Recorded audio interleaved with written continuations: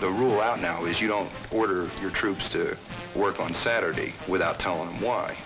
Now, it used to be that, you know, you gave the order and that was that. But now, a guy in my position, a Spec 4, he gets, he gets an order, his CO tells him why. You may not agree with it, but at least you know that the guy's got a reason.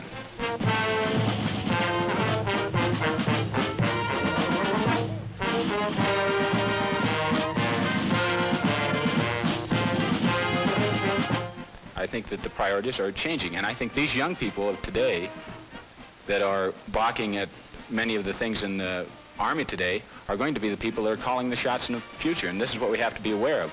We have to be aware of the changes around us and what's happening.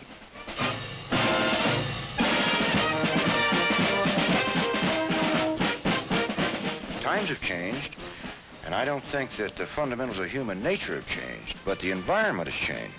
So that I think it's fair to say that a, youngster coming to the Army today is better educated. He's been exposed to more information, not only in school, but through uh, television. So he's different there. He has more ideas and therefore uh, has more to offer. He also, and I think our whole society is this way, is more willing to talk about the things that bother him.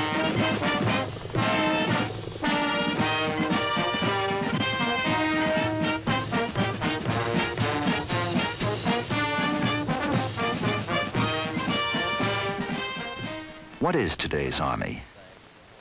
To find the answer, one must listen to